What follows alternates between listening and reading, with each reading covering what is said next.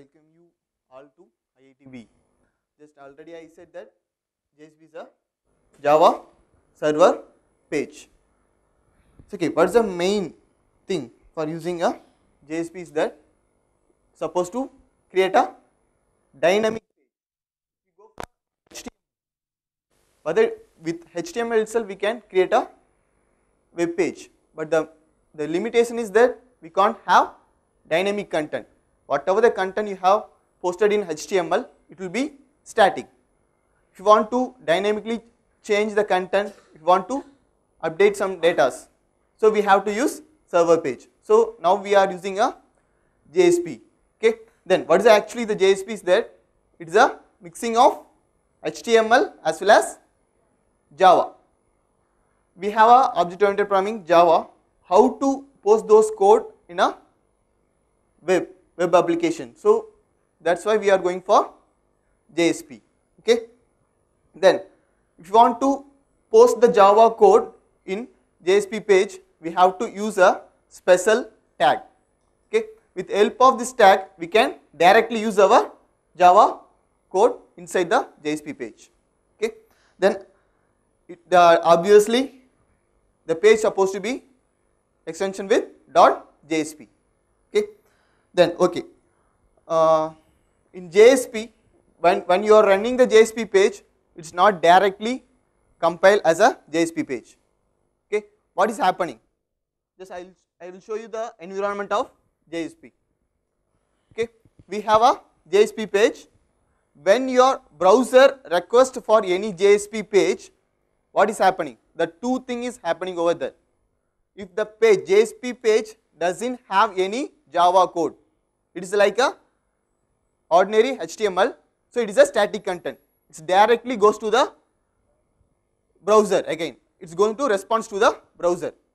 If the the page have a dynamic content, if there is a Java code, it will goes to the Java translator, then it, it will be translate to servlet.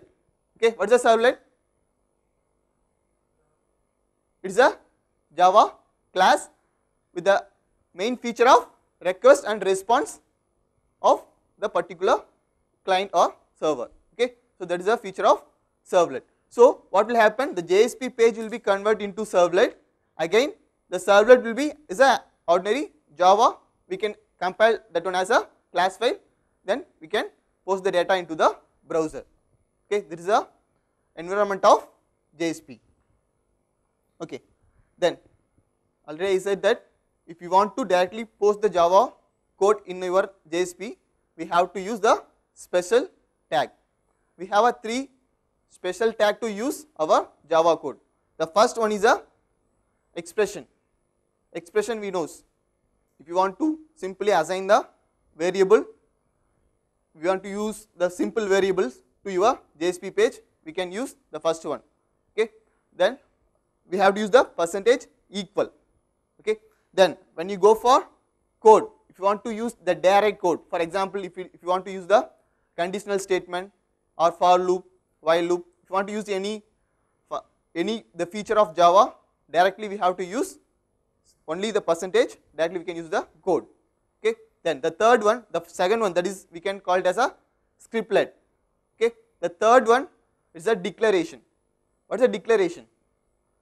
So if you want to use the any variable you want to declare the globally, we can use. In second part, we have a the code part. In code part itself, we can able to declare the variable. The difference over there. The first one, whatever that you are declare in a code, it's a local. If you want to declare any variable as a global one, we have to use declaration. That is a percentage semicolon. Sorry, percentage with explanation. Sorry. Uh. Then not only variable, we can use the method in declaration part. Simply we can declare a method, the further we can invoke the particular method for our code. Okay, this is a Java tags. I will show you the example. Is that is it visible now? The code green color. Okay. Oh, fine. Now it is a simple HTML. I have displayed the current date. Already you knows what is that Java util dot date. What it will do? It is a one predefined method available in Java comes under utility package. So, I am directly using that. So, what I am doing the value whatever it is taking as a date it will be assigned to the page. So, I am using a what I am using now which tag expression okay okay so it is a variable assignment. So i am using a expression. Then we for in ordinary java what we will do? If you, want, if you want to use any predefined methods comes under any packages what you will do? We have to import those package. Then we have to use directly the method. This is the way we are using in java. Why not we are using here? We can use. We have some other tag like import the packages. So let me discuss this in future slides. By the way i like to give a demo for each and every code. It's okay it's it's okay for you. But the code i already have uh, implemented here. Just I, simply i will show then i will explain then i will run. Okay the same code. Okay we have written simply we are using the predefined method of java. Okay by running this one. What will happen simply it will be display the content then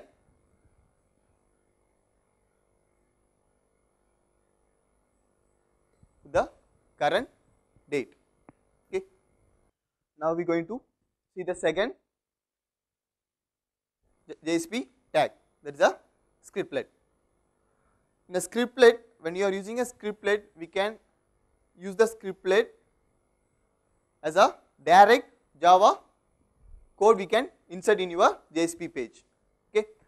So not only directly for we there is no restriction for using the sequence of java and html code. We can mix both of them. Here just look at this code. What what i am doing? Just simply i am using a if else statement.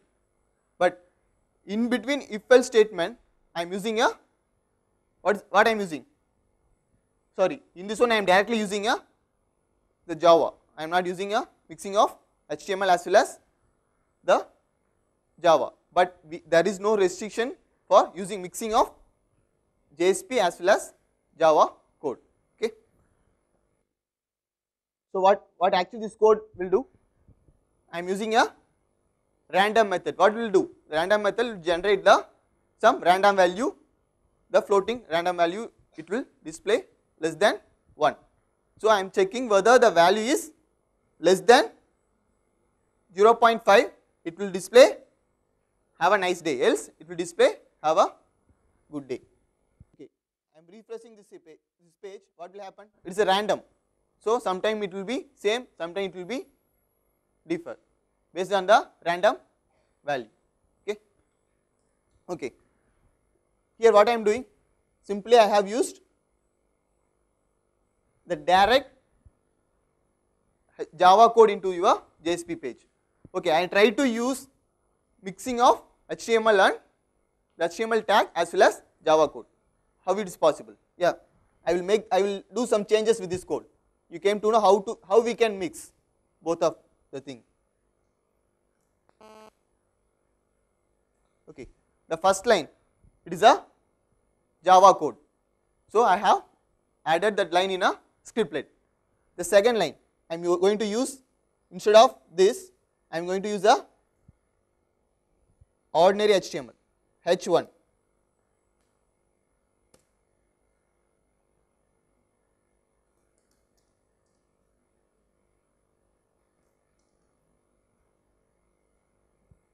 then it is HTML there is no need for adding this line in a scriptlet. If you go for third line, what is the third line? It belongs to Java. So we have to add this code in a scriptlet.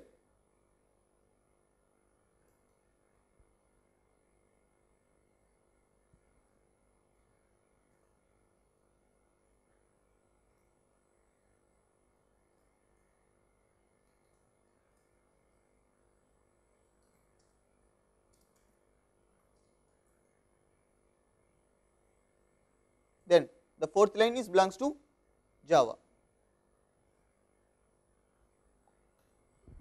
You have any problem with understanding of these lines? No, no. So now what I have done?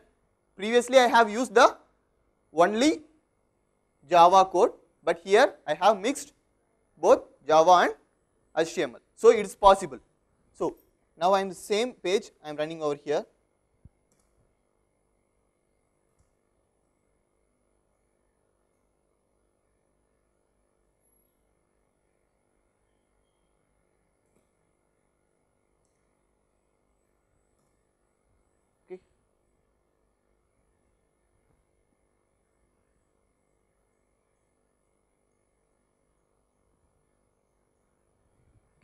So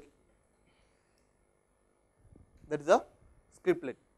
So scriptlet simply we can have a we can add the Java code in our JSP page. Not there is no restriction for the sequence of using Java code as well as HTML code. Okay, next one declaration. So declaration if you want to declare any variable we can declare using the declaration tag. The declaration the main thing is that it is a whatever you declare we can use that particular variable entire in entire pages there is a global one okay. I have declared a one global variable that is a integer that is a access count okay. So simply I am going to just display the the visiting visitors count how many times the visitor is visiting the particular web page. If the for initially we have globally declared that and we have initialized the value as 0. When the visitors visiting a first time it shows you are welcome to yeah welcome to our website else if the already the visitor is visited so it will give the information you have visited this much time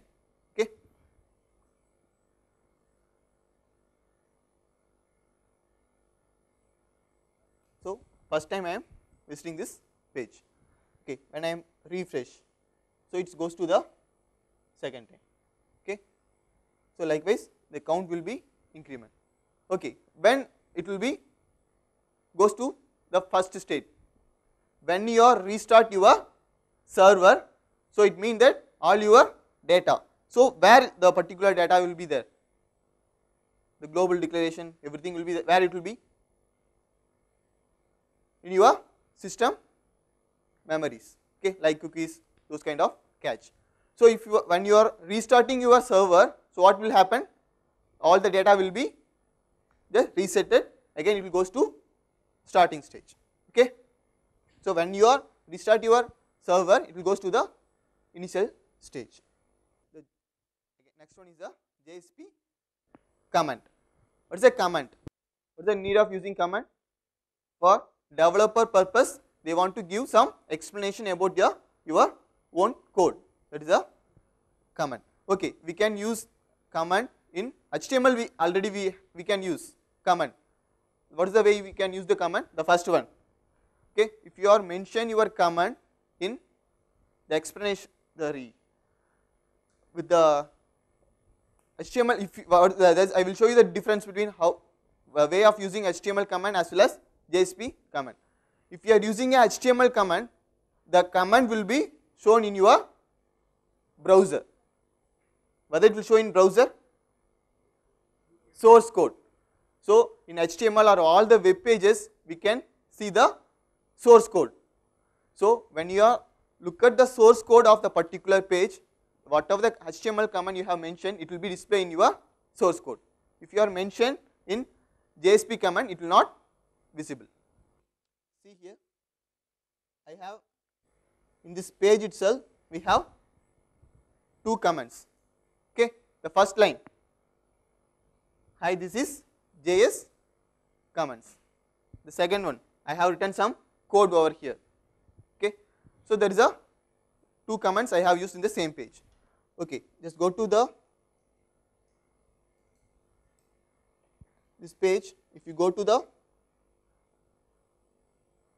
page source what is happening we can able to view the html command so that is the difference between html command and jsp command when you want to the command supposed to be not visible to the client we have to use JSP command. Next one is the directives. Already we I said that if you want to use directly the predefined method we have to import those package. If you want to import any packages we have to use directives. Okay? Directives we can add the predefined packages. Then under this package whatever the method you have we can directly use it in your page. Okay? That is a way of using directives. Just simply that we have to add at then page we have to mention a keyword is page. Then another attribute is that imports then we have to mention a particular package within a double quotes okay? Another one is the include directives. The first one it is directives is going to import your package. In this this one also comes under directives but this one include your web page or your already you have developed any pages. For example what we will what we will do we have developing a uh, 10 or 50 number of pages for a particular website. All the website we, we want to use the same header. What we have to do? What do you, what we have to do? Yeah. Simply the header file we have to create separately. The header file supposed to include in all the pages. No need to recreate the particular tags again and again. So that is the feature of using includes. Okay. this is the header file i have used in this header file there is a content indian institute of technology bombay then summer internship 2012 okay? For example if i am running this page what will happen? It will display the particular header information. I want to use the same template in all the page header. So simply we have to include this tag over your necessary pages. For example i have used scriptlet okay? In scriptlet i want to add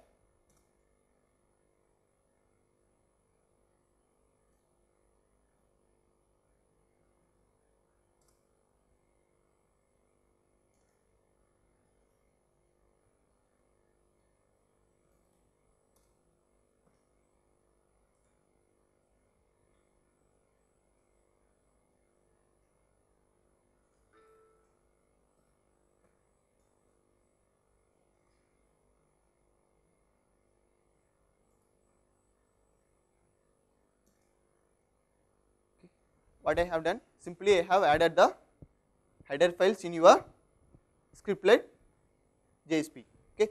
When I am running this page previously what what was displayed have a nice day.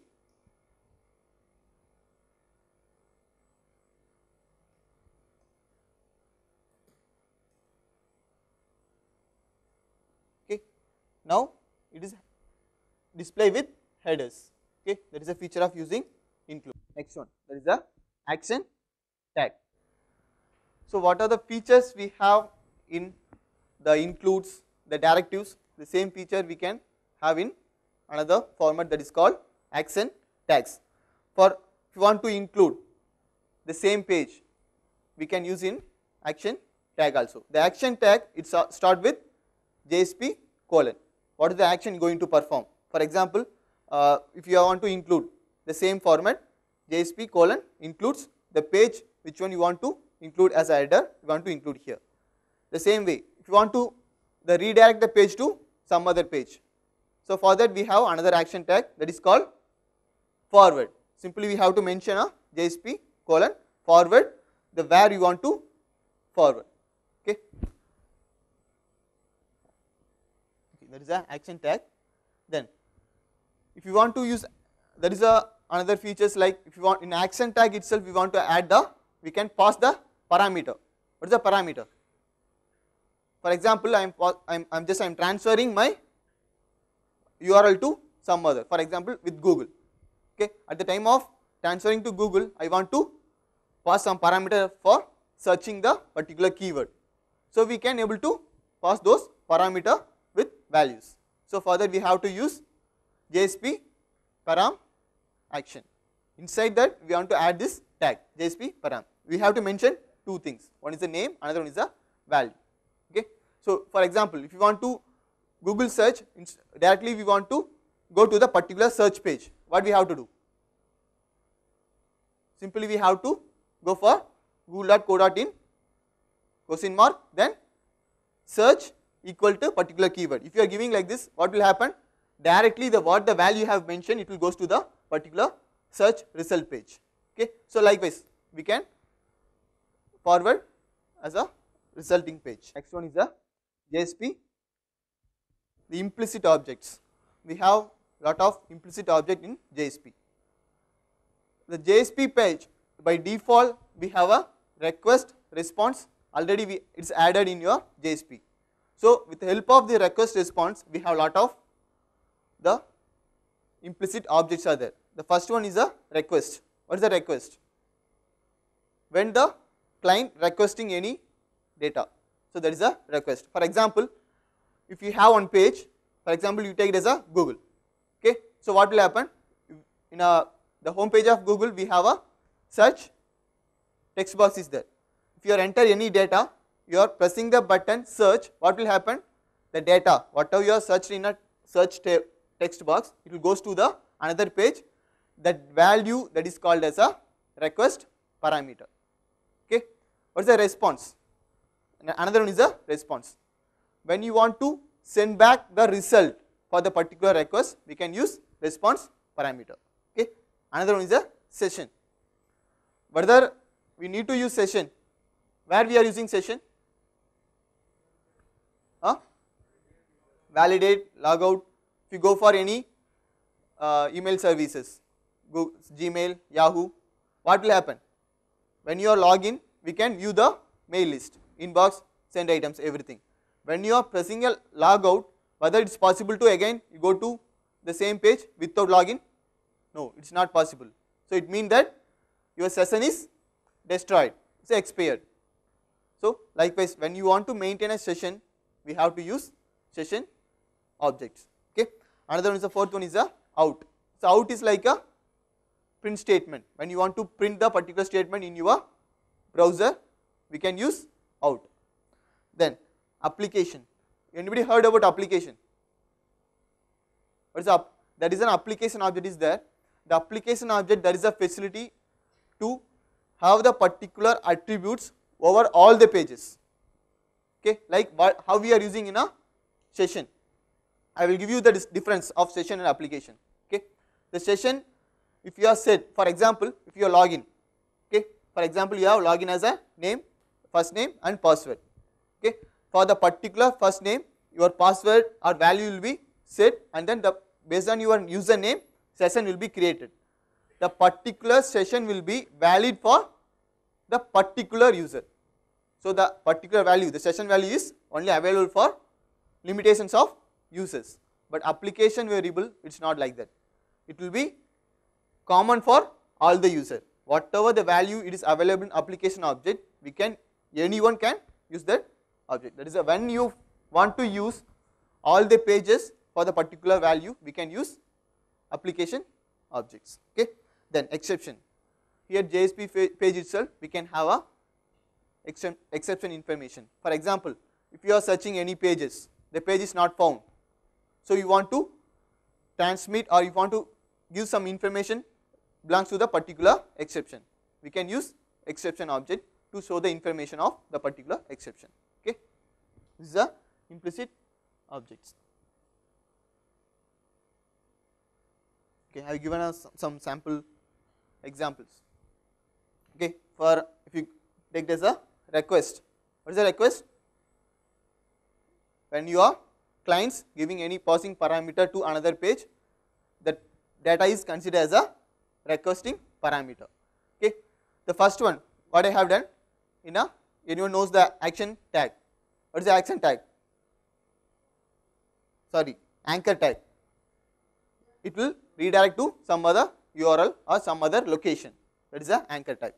In anchor tag, I have mentioned one file JSP file with some parameter with values. When you are pressing the particular link, what will happen? The data also going to pass. So, we can retrieve that parameters as a query string. Okay. So, the request with the help of request object we can get the query string. Okay. Then another one, if you have a text field, if you have a form in your HTML page or JSP page, we have a form. Inside the form, if you have a text field, if you want to, when you are submitting the button, the form data will be sent to your next page. So, at the time if you want to take the particular text field value, we can get as a with the help of request, sorry, sorry, yeah, request, request dot get, sorry, yeah, get parameter, okay.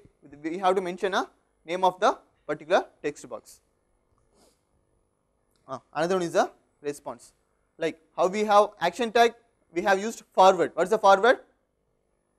So, it will redirect your page to some other page.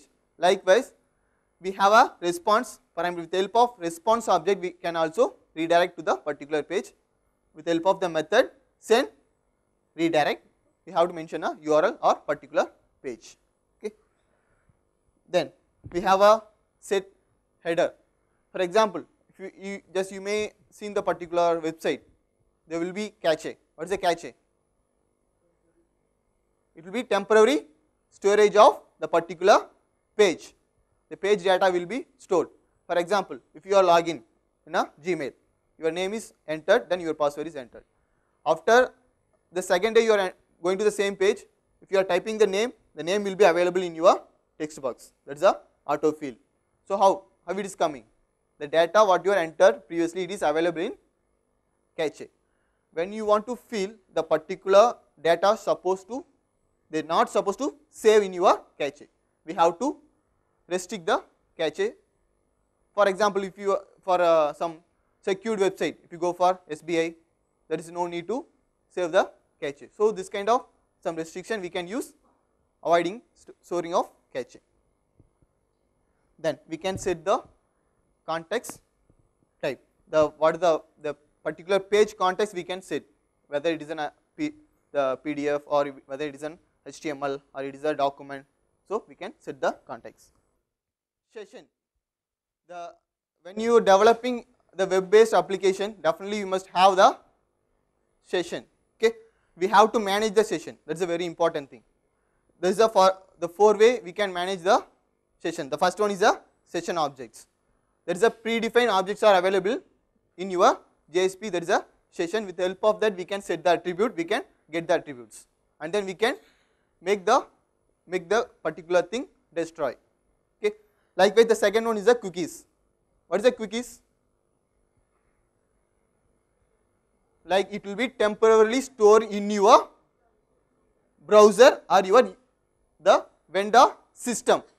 Okay? It will not available in your server or somewhere it will be available in your own system. That is the cookies. Then hidden fields. What is the hidden fields? The particular for example if you want to at the time of sending data through form we can have the particular field as hidden. It will not visible in, visible to the user. But we can have some data in that field. We can transmit to another page. That is a hidden. Another one is the url rewriting what is the url url writing we can pass the data in url that is a url rewrite for example i have given a session.jsp okay sorry session I am using session in JSP. How to set the session attributes?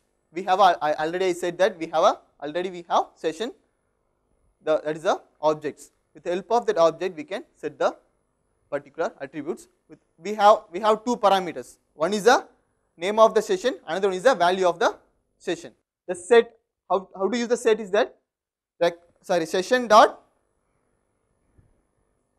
set attributes we have to pass two values. One is the first one is the name of the session another one is the value we are going to pass for the particular name. Here what I have say set dot set attributes SES VAL I have passed the value. What is that value? Request dot get parameter the value which is passed from a previous page okay next how to use the session variable with help of the name we can get it in anywhere. For example, session dot get get attributes, we have to pass the name of the session. Then for removing your session, we have to use remove attribute. Attribute name you have to mention. The application object, we can use the application object is already exist in your all JSP page. With the help of that, we can set the attribute as it is how you are setting in your session. But the main difference session and application, application is common for all the pages, all the pages, all the users. You go for session, it will be restricted for the particular user, user or particular session these are the reference. You, you may get more information about JSP okay? That's it about uh, a JSP okay? Okay.